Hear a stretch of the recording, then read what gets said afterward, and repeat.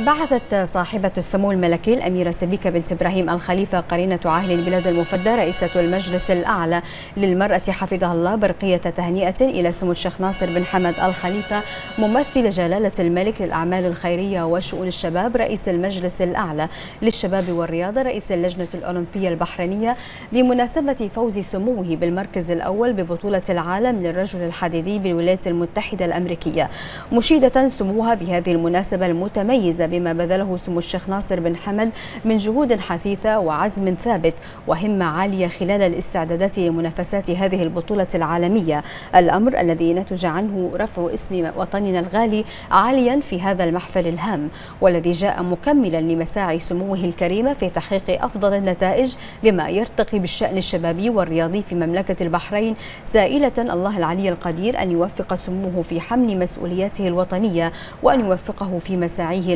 المخلصة في خدمة الوطن.